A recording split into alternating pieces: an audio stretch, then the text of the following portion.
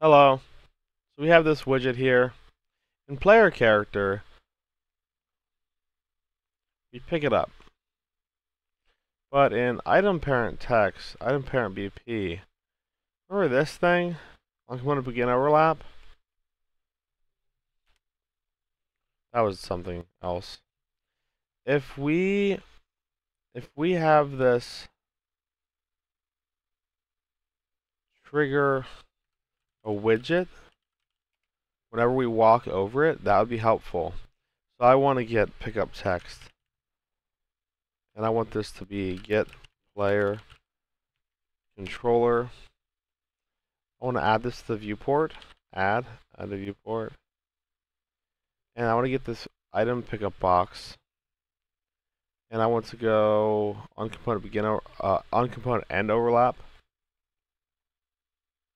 And I want to actually create a reference to this pickup text widget in the item.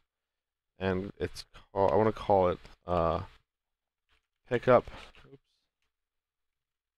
pickup text widget reference. And link this in with the execution pins and plug the return value of the variable into the add viewport because it is the output is pick up text widget reference that's what the input is. And There's only it's one to one.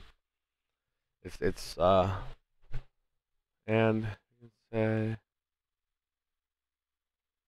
okay. Um and then so when we end overlap, so when we we begin overlap, we should produce this widget and at the end of being near it I want to set the visibility of the widget to hidden.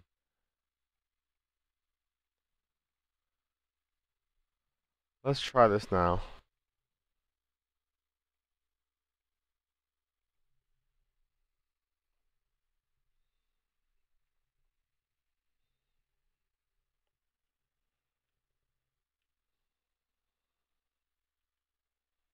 Okay.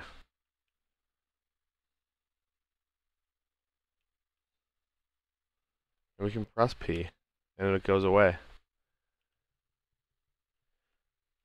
You can press P, it goes away. P goes away. P goes away. Walk over it, walk away from it, walk over it, walk away from it, walk over it, walk it, away from it, into it, away, on it, off it, by it, not by it, with it. That was me, that's the character's legs intersecting with it.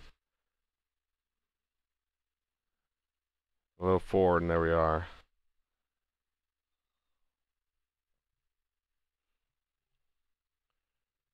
Okay. We'll keep working on this in the next video. Thanks a lot.